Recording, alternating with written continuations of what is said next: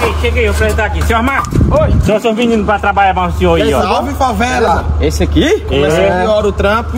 Não, Roberto. Não, é? aqui nós paga pouco demais. Aqui Não, sabe- eles não ligam não, eles querem trabalhar. Não, quer trabalhar, bolotão, dá um Ei, salve. quer trabalhar, Eu pô. sei. Eles, eles, aqui, aqui não tem horário de almoço. eles não comem muito não. Não é com pouco, eu, pô. É. Roberto. Eu como pouco. Não, vou lhe apresentar. É, é- é o Boladão e o Maloca. E eles, É, e aí? E aí?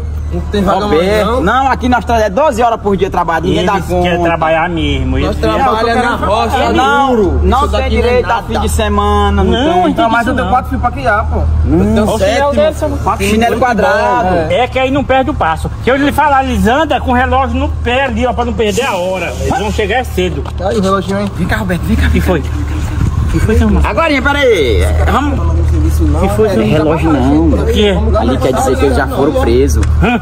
Já foram presos, estão de observação. Lá que você sem vergonha, tu não faz nada direito. Tá roubando os tijolo lá.